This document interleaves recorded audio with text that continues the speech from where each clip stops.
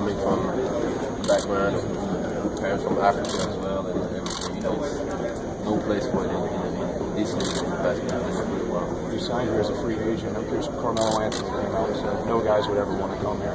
Had these comments happened before? How might that have changed your desire to come to Atlanta? You know, I mean, the, the big factor for me coming here was the coach, uh, the players, and I think, you know, none of them have made those comments. You know, and I think uh, that's, that's the I'm on, is what I can control on the basketball court. And, uh, you know, the, the league and the team will handle the other stuff the same way, but for me, I'm just focused on basketball. You think other guys would be into that as well? I mean, you've got friends in the league that have talked to you about this situation. You think this is a destination free agents like yourself would, would still come to?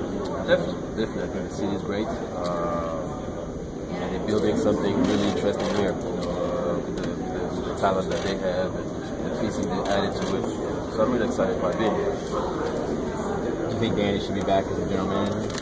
I don't want to really comment on that. You know, it's not for me to talk. I don't know enough about the whole situation.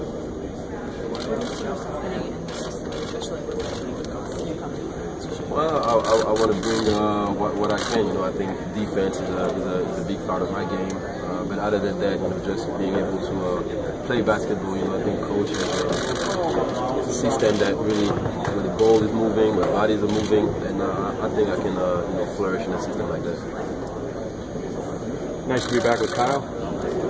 Definitely, I, I, didn't play with Kyle actually in Chicago, but uh, you know I know him a little bit, and uh, it's great to, uh, to, to, to, be here with uh, you know, great guys. A group of guys. You know, I met some of, guys, some of the guys just uh, recently. It is good to be here and uh, uh be able to, uh, to them. My apologies for the brain fart. Uh, coming from OKC, though, that's an organization that's done things right, that is building stuff what do you see here that can maybe almost copy that blueprint, but but do similar stuff and put yourself in a position to play for a title?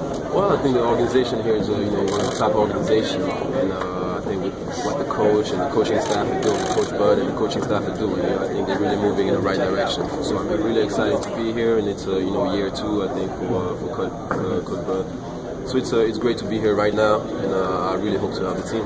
Appreciate it.